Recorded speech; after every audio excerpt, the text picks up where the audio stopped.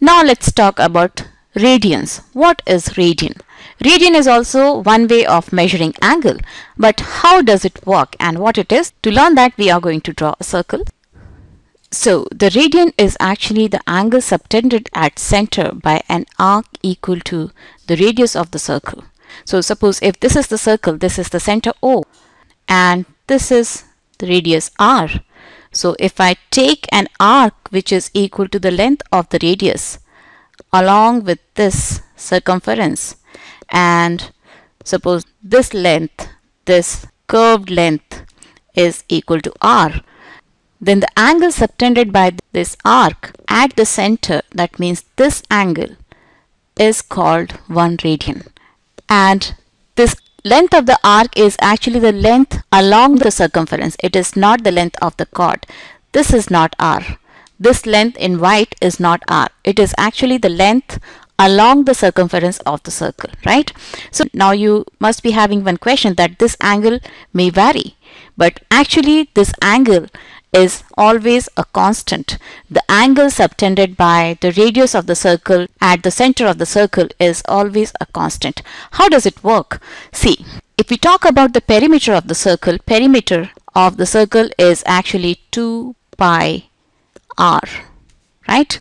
And we also know that the angle subtended by any arc on the perimeter is proportional to the length of the arc. If I call this arc as AB, arc AB, the angle AOB is actually directly proportional to the length of the arc AB.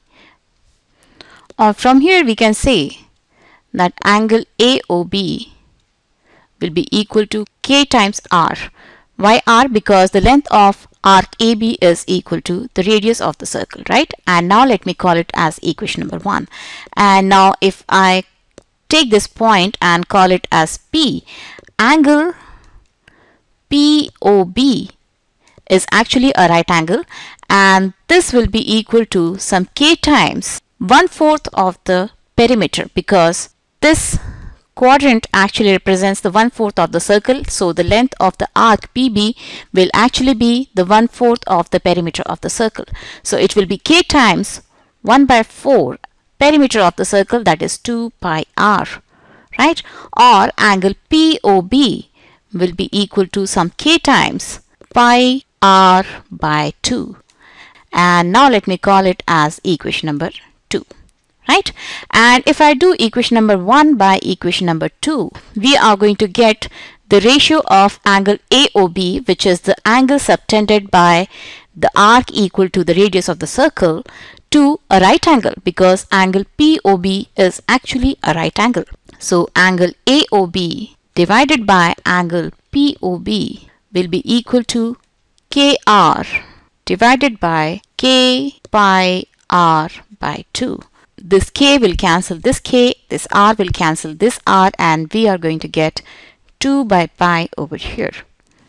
So the ratio of the angle subtended by the radius on the center of the circle to the right angle which is POB over here is equal to 2 by pi where 2 is a constant and pi is also a constant right that means the angle subtended by the radius of a circle to the center is actually equal to 2 by pi times the right angle that is angle POB. This actually proves that the angle subtended by the radius to the center of the circle is always a constant and that angle is actually called as radian. That means whatever radius you take the angle subtended by the radius to the center of the circle is always going to be a constant and this is named as 1 radian. So here we have got 1 radian is actually equal to 2 by pi times right angle. 1 radian is 2 by pi times right angle. So the value of right angle in radians is actually pi by 2. The value of right angle in terms of radians is pi by 2 which is equal to 90 degrees. So if 90 degrees is equal to pi by 2 then 180 degrees will be the double of pi by 2 that means pi and the value of 360 degrees will be actually 2 pi.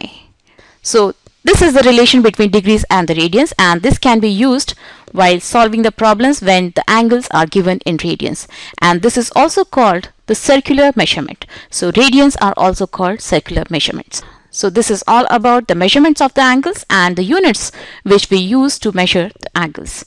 So in next few videos we are going to talk about the conversion from degrees to grades or degrees to radians and vice versa. So keep watching MathsSmart and bye bye till then.